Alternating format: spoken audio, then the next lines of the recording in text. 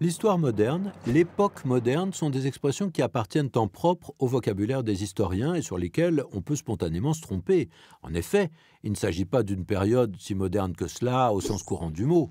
l'histoire de l'Europe occidentale est découpée en tranches différentes et on fait commencer l'époque moderne à la fin du Moyen Âge pour l'arrêter à la Révolution. Donc la date finale est sans appel, c'est 1789. Pour le commencement, on peut hésiter. 1453, c'est la prise de Constantinople par les Ottomans, ou bien 1492, c'est la découverte de l'Amérique. En tout cas, on comprend que cette dénomination tranche avec ce qui précède. Pendant longtemps, le Moyen Âge a été considéré comme une époque sombre, et à l'inverse, on voit l'histoire moderne commencer avec la Renaissance et son éclat.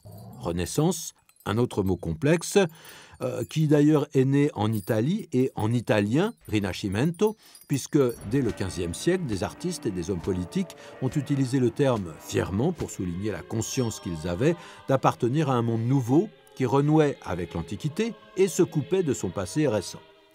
Mais attention, cette renaissance ne couvre pas l'intégralité de l'époque qui va jusqu'à la Révolution, et cette époque moderne se saisit en opposition avec le Moyen Âge. Le qualificatif, moderne, s'oppose à l'idée de l'antique et porte avec lui le souvenir de la querelle des anciens et des modernes. Les tenants des anciens s'inspiraient de la culture de l'Antiquité, y trouvaient des exemples à suivre et à imiter, et voyaient le classicisme du XVIIe siècle comme un reflet des cultures grecques et romaines. Et au contraire, ce qu'on appelait les modernes étaient favorables à une innovation dans la forme et voulaient inventer des critères artistiques qui leur fussent propres.